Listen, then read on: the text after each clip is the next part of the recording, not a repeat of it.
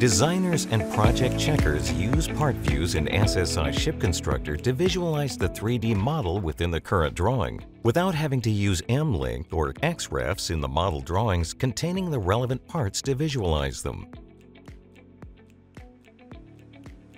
Having to recreate and define new part views for each area being worked on can take time and focus away from the task at hand and can lead to an inefficient workflow for review and changes over different areas of the project.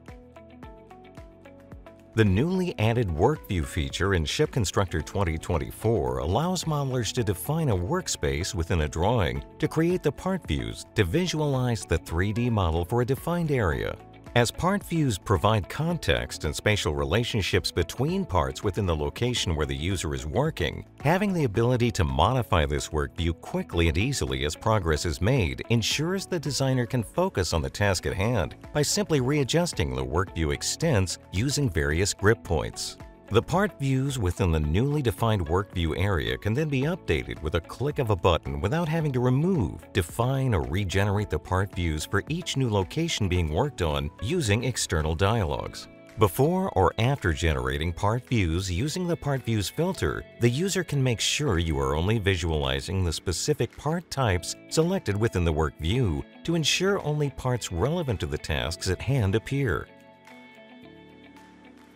The user can simply relocate, scale, and otherwise manipulate the workview space and use the right-click menu to regenerate part views relevant to the work being performed. This feature saves time by maintaining focus within the viewport and removes the need to navigate away from the model space to view part views.